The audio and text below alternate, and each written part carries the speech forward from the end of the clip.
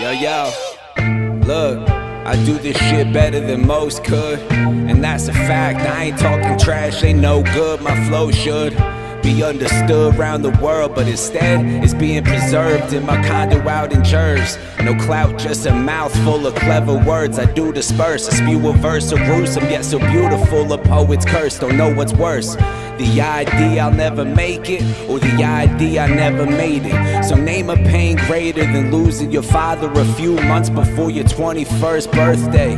That's why I started in the first place. My path in life had to get rocky, the waves choppy for me to find this passionate hobby. I stay mopping floors with MC's blood. My pen sees scum, my grip no snub. But God knows to sniff out punks I ain't for violence.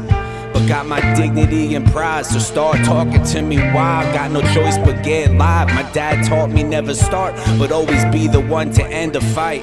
Cause even if you lose, it's you who wins, that's simple, right? Life lessons from a man much greater than I. Applied it to my rap style plus dangerous rhymes.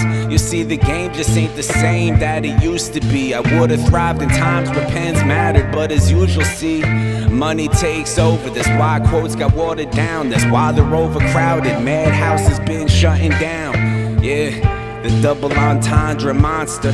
Like Joey Bear said, and that's for days like Conquer. And if I die tomorrow, hope I lie a martyr.